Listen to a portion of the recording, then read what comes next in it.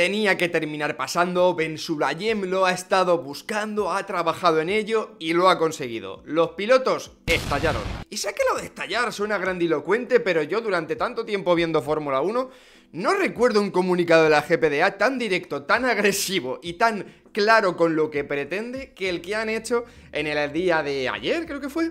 Eh, los pilotos, la GPDA, la Asociación de Pilotos, el sindicato de pilotos de Fórmula 1, contra directamente, no es tanto contra la FIA, ¿vale? Realmente no es tanto contra la FIA, sino contra la figura de Ben Sulayem. Vamos a retrotraernos a de dónde viene todo esto, primero recordando lo más importante, que te suscribas a Fórmula Fons. Amigo, lo de Ben Sulayem está guapísimo, la información de la FIA que te voy a dar, del GPDA y todo esto está guapísimo, está increíble. Mi opinión va a ser prácticamente excelsa, como un día más, ¿no? En la oficina. Pero si no te suscribes, es que te podrías perder el siguiente vídeo. Y yo no querría pasar por eso. Dicho lo cual, ahora sí vamos a hablar de qué es la GPDA, ¿vale? Para los más despistados. Eh, la GPDA son las iniciales de Grand Prix Driver Association, ¿vale? Que es este sindicato que aglomera a todos los pilotos de Fórmula 1 y que tiene cuatro directores, ¿vale? Entre los cuales están, pues, eh, Russell, que sería el piloto en activo que es el, que mm, representaría a los pilotos actuales, pero también están de directores Vettel, Alex Gurth y eh, luego tiene una asesora legal que se llama Anastasia Foul, ¿vale? Todo esto está bien explicado en un vídeo que hicimos ayer en Motorsport. Em, dicho esto, esta asociación pues ya es la que representa a los pilotos y sabemos que desde lo que pasó con Verstappen en Singapur, los pilotos estaban calentitos. No solo Verstappen, que, demostró claramente que estaba calentito con sus declaraciones, evitando hacerlas, sacando a los periodistas fuera del corralito de prensa como en otras zonas para responderles, respondiendo con monosílabos. Ya sabíamos que Verstappen había iniciado la guerra por su cuenta, pero eh, allí le cayó, por cierto, a Verstappen, recordemos, una sanción de 10.000 euros. Y eh, los famosos trabajos forzados, ¿no? Los servicios comunitarios, no trabajos forzados, pero entendedme, los servicios comunitarios que ya veremos eh, en qué consisten y cuándo se aplican. Pero es que además en México a Leclerc le cayó otra, ¿vale? Otra. Porque dijo que cuando perdió el control del Ferrari en, esa penúltima vuelta de, México, en la penúltima curva, y Norris la adelantó, pues que por lo que sea no le pareció chachipistachi, ¿vale? Creo que las declaraciones de Leclerc fueron jopelines, calcetines y Ben Sulayem se vino arriba y dijo esto, esto debe tener prisión.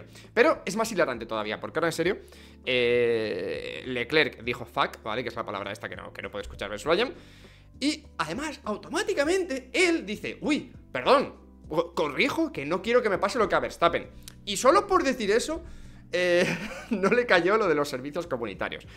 Es hilarante, es de locos porque ahora entramos a hablar un poco del comunicado, pero realmente tanto Verstappen en su momento con sus palabras como Leclerc en este momento dijeron una palabra fea, una palabra malsonante, lo que tú quieras, pero no se referían a ningún compañero de profesión. Hablaban de sus coches, de su coche en el caso de Verstappen, y Leclerc de sí mismo, ¿vale? De su error. No estaban faltando el respeto a nadie. Es una forma coloquial de hablar. Y esta es una de las cosas que dicen en el comunicado, ¿vale?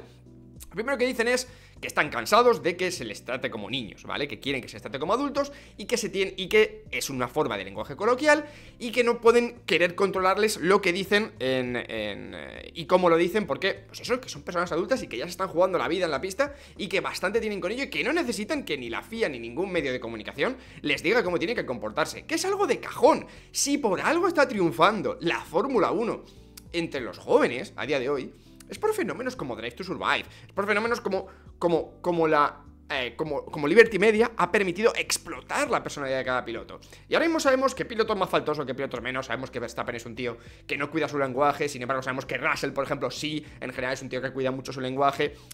Cada piloto tiene su personalidad. Y esto es algo que en tiempos de antes de Liberty Media era muy complicado. Los pilotos actuaban más como robots. De hecho, Kimi Raikkonen era, fue una de las grandes primeras excepciones, ¿no? Cómo se comportaba Kimi Raikkonen tan fuera de la norma que, que Bernie Eccleston más o menos imponía. Y esa esa libertad de cada, de cada piloto, de poder mostrar lo personaje que es, eh, personaje en el buen sentido de la palabra, ¿vale? No, no, no en el malo, entendedme, ha permitido que, los fans más jóvenes empaticen con estos pilotos más allá de sus habilidades al volante. Que evidentemente es lo que al final a uno le empuja, ¿no? A apoyar a un piloto, sus habilidades al volante, su nacionalidad, en fin, lo más importante. Pero esa personalidad también ha marcado el fanatismo de muchos jóvenes a según qué pilotos. Y esa personalidad se consigue a base de dejarles expresarse y dejarles actuar como personas adultas. Y si ese lenguaje soez que usan realmente no les favorece, ya lo pagarán con su reputación. No tiene que meterse la FIA de por medio, ¿vale? Esto era de cajón y los pilotos es lo que explican en este comunicado. Un comunicado en el que directamente señalan esto y señalan, cuidado, que esto es lo más importante, a Ben Sulayem. A Ben Sulayem le dicen Ben, eh, Mohamed, ¿no? Mohamed Ben Sulayem. Pero dicen, eh, Ben, tiene confianza, le llaman Ben, supongo, no lo sé. Pero dicen, oye, cuídate Básicamente el meme de bájate dos tonitos, crack, lo dicen. Dicen, eh, Ben Sulayem, si vienes a darnos ejemplo, bájate tú dos tonitos y controla el tuyo también, porque no ha sido respetuoso. Y recordemos que cuando eh, pasó lo de Verstappen, una de las palabras que dijo, una de las frases que usó eh, eh Ben para referirse a, a, que no le gustan los juegos pilotos es que parecían raperos que no se puede ser más tópico, ¿vale? No se puede ser más, más faltoso con, con un conglomerado de gente que aquí no había hecho nada, ¿vale? Y, dijo que no, que no podía ser como raperos. Claro, entonces, obviamente, Hamilton, ejemplo, se enfadó muchísimo. Y yo desde ese momento en el que Hamilton se enfadó bastante, dije, aquí va a haber un comunicado de la GPDA, eh, todos juntos, para apoyarlo. Y quizá lo de Leclerc ha sido como ya la gota que ha calmado el vaso. Si este comunicado iba a ser más tranquilo, que yo creo que se iba a hacer igualmente por lo de Verstappen, creo que lo de Leclerc ha colmado el vaso, ¿vale? Y, y me alegro mucho de que haya sucedido, porque Ben Sulayem tiene un gran problema. No, no creo que la gestión de Ben Sulayem sea nefasta como presidente de la FIA, ¿vale? No, no, no soy de esa opinión. No creo que lo esté haciendo especialmente mal ni especialmente bien tampoco. Creo que hay muchas cosas muy malas que hace la FIA, pero las hacía mal antes de él también. Entonces no, no voy por ahí. Pero sí que tiene algo Ben Sulayem, a diferencia de, de, de por ejemplo, Jan Todt, que es el anterior, y es una ansia de protagonismo brutal. El problema de Ben Sulayem es querer ser el protagonista cuando no le corresponde ni debe tener que aspirar a ese papel. Las estrellitas de Drive to Survive tienen que ser los pilotos, los team principals, pero de ninguna manera tiene que ser Ben Sulayem. Y Ben Sulayem está desesperado por ser la nueva estrella de Drive to Survive. Y se le nota cada vez que habla, haciéndose la víctima, eh, dando declaraciones lo más sonantes posibles. Eres el presidente de la FIA, tienes que ser la figura más aséptica de la historia. O sea, tienes que ser un tío aséptico, el tío que menos polémicas se meta. Tú a la FIA le podías criticar muchísimas cosas durante la era de Jan Todt, por ejemplo, pero no podías decir mucho de la figura de Jan Todt. Malo, ¿no? No era un tío polémico para nada. Tuvo sus cosas, pero no era un tío polémico él como persona. Luego ha habido otros que sí, ¿vale? Si nos vamos más atrás, ¿eh? No, no es que sea el primer showman eh, Ben Sulayem a la hora de, dirigir la FIA, pero es algo en lo que hoy en día, con tanta red social y tanta eh, influencia en, en la gente joven, y que sea tan fácil enterarnos de todo lo que hace, es un error de Ben Sulayem el querer ser el protagonista. Y se le nota mucho que quiere ser el protagonista.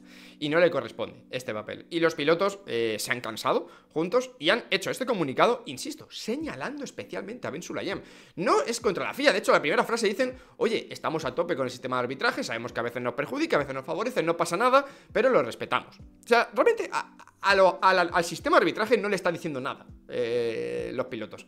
Están diciendo de todo a Ben Sulayem como árbitro principal, ¿vale? Esto es importante. Y luego hay algo, hay algo que es, que es histórico. De verdad que esto sí que me parece histórico. Porque hasta aquí es, oye, Ben Sulayem, déjanos en paz, déjanos ser adultos, sabemos comportarnos, no te preocupes por tal, eh, deja este, esta tontería de las multas. Lo relativo a las multas económicas, ¿vale? Los pilotos mencionan que no les gustan las multas económicas y que creen que no dan buena imagen para, para la competición. Cosa con la que estoy de acuerdo, porque realmente, eh, si quieres sancionar a un piloto de verdad por un comportamiento antideportivo, que esto para mí no lo es, sancionalo con algo que, le afecte deportivamente, no con dinero, ¿vale? Que el dinero al final de los pilotos pues no es un problema. Pero si realmente fuera algo ofensivo o algo que pensaras que tienen que corregir, no te valdría con meterles multas económicas. Pero más allá de esto, que sería más secundario, que dice los pilotos, no nos gusta, tal, vale, perfecto. Tampoco entiendo que a nadie le gusta que le quiten 10.000 euros por decir cataplines, ¿sabes? En alto, normal. Pero lo más importante de todo es cómo señalan, y esto yo no lo recuerdo que haya pasado, pero que la Asociación de Pilotos de Fórmula 1, la GPDA, señale directamente a Ben Sulayem, y aquí sí que a la FIA también un poco, y digan, queremos saber dónde está yendo ese dinero de las multas, es una bomba, es una bomba, o sea, es ya no es nosotros como creadores de contenido o como vosotros que, veis los vídeos y consumís eh, información por YouTube, por internet, por tal, tal, tal, tal, la típica broma que siempre decimos de, de bueno, le han caído 10.000 euros a Verstappen por esto, verás qué cena se meten en eh, esta noche la FIA. Ya no somos nosotros los aficionados periodistas los que dicen esto. Es la GPDA la que no diciéndolo de manera directa, pero sí, en una indirecta muy clara, dice, oye, vamos a empezar a comunicarnos entre nosotros, a tener transparencia y saber dónde se está destinando ese dinero de las multas. Es claramente una insinuación de que no se está destinando a nada que ayude al motorsport, ¿vale? Es una declaración muy tocha, es una acusación realmente, una... no es acusación porque es muy inteligente el comunicado, pero es una insinuación muy grave respecto a qué estáis haciendo con este dinero. Y es para mí la parte más interesante de todo el, de todo el comunicado. Porque esto ahora mismo sí que ha puesto contra la espada y la pared a Ben Sulayem y a la FIA y van a tener que responder y van a tener que aceptar este, esta transparencia con, con los pilotos, ¿no? Habla la GPDA de que quieren que entre la Fórmula 1, la FOM, la FIA y ellos tal decidan dónde invertir esas multas económicas. Que está bien, porque no es un no pongas multas económicas, es, hey, vamos a ver dónde van. Que de paso abre la pregunta, ¿dónde estaban yendo hasta ahora? ¿Y por qué este palo? Porque yo entiendo que estuvieran enfadados con la actitud de Ben Sulayem, pero creo que ha sido esa molestia con Ben Sulayem la que ha hecho a los pilotos decir, a Russell escribir como el meme este del tío que escribe y sale fuego de un papel, escribir así, porque sabían, vale, ven, sabemos dónde te vamos a hacer daño, sabemos por dónde te podemos hacer daño, y es insinuando esto, y lo han hecho. Y me parece genial que se les retrate a, la, FIA esta, esta, cosa que es verdad que nunca queda claro dónde va ese dinero, ¿vale? Nunca queda, ah, iniciativas de... Bueno, pero que se sepa dónde va exactamente. No, mira, es que estos 10.000 euros van a ir para remodelar las barreras de este circuito. Por ejemplo, me lo invento, ¿eh? Que se sepa. Está bien. No, no tenemos que saber los aficionados, quizá, ¿vale? Igual, ¿no? Pero ya que son los pilotos los que muchas veces tienen que pagar estas multas, está bien que ellos lo sepan. ¿no? Los equipos aquí, por cierto, no han dicho nada, ¿vale? Los equipos sí que están contra la espada de la pared, porque al final, bueno, son equipos, no lo mismo. Pero los pilotos, por lo menos, ya han tirado la piedra. Ya han dicho, hey, ¿qué está pasando aquí? Queremos que esto cambie. Entonces, a mí me parece espectacular, me parece divertidísimo. Ya sabéis que a mí este tipo de salseos de política o de Fórmula 1 me vuelven loco, ¿vale? me gustan muchísimo. Pero es muy relevante y muy importante lo que pasó ayer en este comunicado de eh, los pilotos. Y ya digo, creo que tiene que tener sí o sí respuesta de la FIA. No se puede callar llamada ante esto. Tienen que, tienen que responder y tengo mucha curiosidad por ver qué responden. No sé cuándo responderán, igual eh, responden según publique este vídeo. No sé, no pasa nada, haremos otro. Pero, pero me parece muy, muy, muy relevante eh, y estoy muy a favor de que los pilotos hayan sido tan claros, ¿no? Se abrió la cuenta de Instagram, por cierto, como hace dos días, eh, creo que por iniciativa de Sebastián Vettel. Cada vez que Vettel abre una cuenta de Instagram, es para soltar una bomba, ¿eh? Primero la abrió en 2022 para decir que se retiraba, y ahora la abre para, para esto, ¿no? Para la cuenta de la GPDA. Pero en fin, amigos, that's is, this is, this is my opinion, ¿vale? Eh, quiero leer las vuestras, quiero ver qué pensáis. ¿Sabéis que generalmente yo siempre digo que, ah, en general, nosotros como aficionados nos conviene eh, lo que no les convenga a los pilotos y viceversa? En este caso, yo creo que a los aficionados nos conviene que los pilotos ganen esta batalla y que les permitan expresarse, porque al final, nosotros como aficionados eh, decidimos a quien eh, apoyamos más o menos, según su reputación. Y habrá quien valore más un piloto directo y natural que diga palabrotas como, como Verstappen, y gente que valore más un piloto profesional, recto, serio y elegante como Russell, que no suele decirlas. Eh, pero esto ya tiene que ser algo de los aficionados, no tiene que meterse la FIA por medio, ¿vale? Si es verdad, cuidado, si es verdad que creo que sí que hay algunas cosas que quizás sí debería regular la FIA a nivel de comportamiento de pilotos. Es decir, si estas faltas de respeto se hicieran entre pilotos, yo entiendo que, que la FIA actúe y podría decir algo. Pero es que precisamente cuando un piloto le falta respeto a otro en pista, es cuando la FIA no dice nada. ¿Por qué? Porque se entiende el calentón del momento, ¿vale? Evidentemente se entiende. Pero es curioso, ¿no? Que al final hayan intervenido tanto Leclerc como Verstappen, que no sé, que se referían Leclerc a sí mismo y Verstappen a un coche, a un objeto inanimado. Y, inanimado, perdón. Y el Red Bull, pues sí, es muy raro. Es un coche que se ha comportado muy raro últimamente. Pero yo creo que sentimientos no ha desarrollado para ofenderse, ¿vale? No lo sé.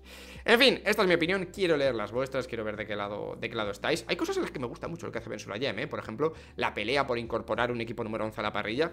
Él la está comandando y yo ya estoy a tope. Pero aquí estoy con los pilotos. Os leo, recordad, suscribiros al canal, haceros miembros si os gusta mucho mi contenido y queréis que lo siga haciendo. Y nos vemos con más vídeos. Chao, chao.